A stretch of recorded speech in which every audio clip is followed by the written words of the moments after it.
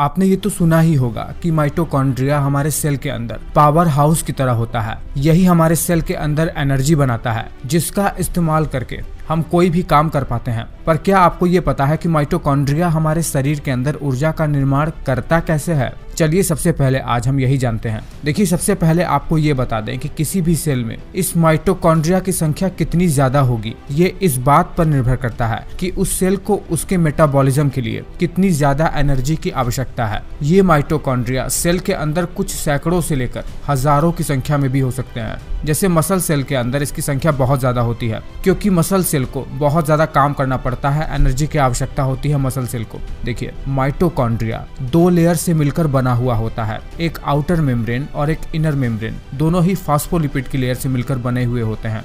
दोनों मेम्ब्रेन के बीच में इंटर मेम्ब्रेनस स्पेस होता है, जिसमें साइटोसॉल की तरह फ्लूइड भरा रहता है और ये इनर मेम्ब्रेन माइटोकॉन्ड्रिया के अंदर कई सारे फोल्ड को बनाता है, जिससे इस मेम्ब्रेन का सरफेस एरिया बहुत ज़्यादा बढ़ जाता है और इसकी वजह से माइटोकॉन्ड्रिया का अंदरूनी भाग कई सारे कंपार्टमेंट में बढ़ जाता है, जिसे क्रिस्टा कहते हैं और इसके अंदर कंपार्टमेंट में मैट्रिक्स भरा रहता है। एक जेल लाइक सब्सटेंस जिसमें बहुत सारे काम के एंजाइम्स सर्कुलर डीएनए और राइबोसोम भरे रहते हैं। देखिए सर्कुलर डीएनए होने की वजह से माइटोकॉन्ड्रिया सेल में बहुत ही आसानी से डिवाइड होकर नया माइटोकॉन्ड्रिया बना लेते हैं। उसे सेल डिवीज़न की आवश्यकता नहीं होती है। राइबोसोम की वजह से इसके अंदर ये अपने काम के प्रोटीन को सिंथेसिस भी कर सकते हैं। पर सबसे बड़ा क्वेश्चन तो अब आता है कि सेल के अंदर माइटोकॉन्ड्रिया एनर्जी का निर्माण करता कैसे है? और याद रखिएगा सेल के अंदर माइटोकॉन्ड्रिया द्वारा एनर्जी का बनाना एक बहुत ही अलग प्रोसेस है। उसे सेल्यूलर रेस्पिरेशन के नाम से जानते हैं, जो कि चार चरणों में होता है, जिसमें ऑक्सीजन की आवश्यकता होती है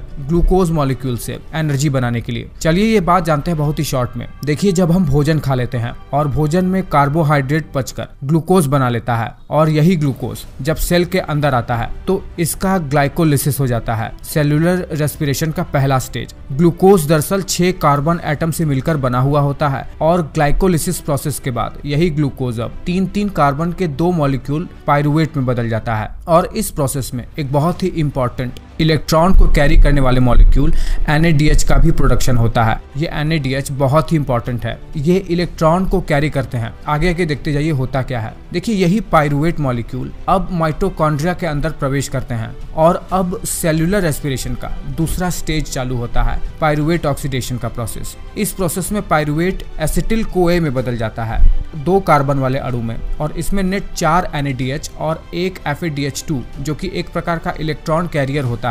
उसका निर्माण होता है। इसमें कुल एक एटीपी एनर्जी का निर्माण होता है। इस प्रोसेस में कार्बन डाइऑक्साइड का निर्माण भी होता है। और ये जो दोनों स्टेज है ना, इसमें ऑक्सीजन की आवश्यकता नहीं होती है। ये एन एरोबिक प्रोसेस होते हैं। इसके बाद सेलुलर रेस्पिरेशन का तीसरा स्टेज चालू होता है सिट्रिक एसिड साइकिल या क्रेब्स साइकिल इसमें बहुत सारे एंजाइम एसिटिल कोए के साथ रिएक्शन करके एंड प्रोडक्ट के रूप में ऑक्सेलो एसिटेट एसिड का निर्माण करते हैं। और इसमें कुल छह एन मॉलिक्यूल दो एफ़ ए मॉलिक्यूल चार कार्बन डाइऑक्साइड के मॉलिक्यूल और दो एटीपी का निर्माण होता है। इस प्रोसेस में भी ऑक्सीजन की आवश्यकता तो नहीं पड़ती है, पर इनडायरेक्टली ऑक्सीजन पर यह प्रोसेस बहुत ज़्यादा निर्भर करता है, इसीलिए इसे एरोबिक प्रोसेस कहा जाता है। देखिए, इन सब प्रोसेस के बाद अब एनर्जी प्रोडक्शन का, यानी एटीपी प्रोडक्शन का मेन स्टेज आता है, जिसे इलेक्ट्रॉन ट्रांसपोर्टेशन चेन कहते हैं, और इसमें मूलतः भाग लेता है। ये एनएडीएच और एफ़ जैसे इलेक्ट्रॉन कैरियर मॉलिक्यूल जो कि अभी पिछले के तीन प्रोसेसेस में बहुत सारे बन गए हैं। ये इलेक्ट्रॉन कैरियर मॉलिक्यूल बहुत ही कॉम्प्लेक्स प्रोसेस के साथ शरीर में फॉर्म होते हैं।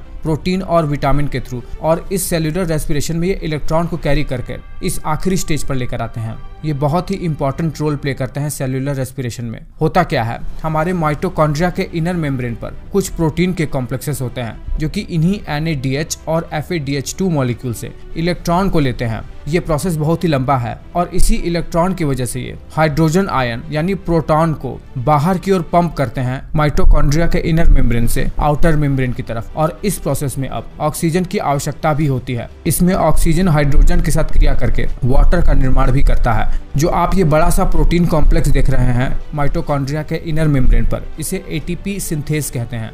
इसमें क्या होता है कि जब यही बाहर हुए पंप प्रोटॉन इसी एटीपी सिंथेसिस से होते हुए अंदर की ओर आते हैं तो ये एटीपी मॉलिक्यूल का निर्माण करते हैं, चार हाइड्रोजन आयन से, यानी चार प्रोटॉन से। एक एटीपी मॉलिक्यूल का निर्माण होता है और कुछ इस तरीके से हमारा माइटोकॉन्ड्रिया एनर्जी का निर्माण करता है। उम्मीद करता हूँ कि आप ये बात समझ गए होंगे। कम से कम एक ओवरव्यू तो मिल ही गया होगा आपको कि ये माइटोकॉन्ड्रिया काम कैसे करता है।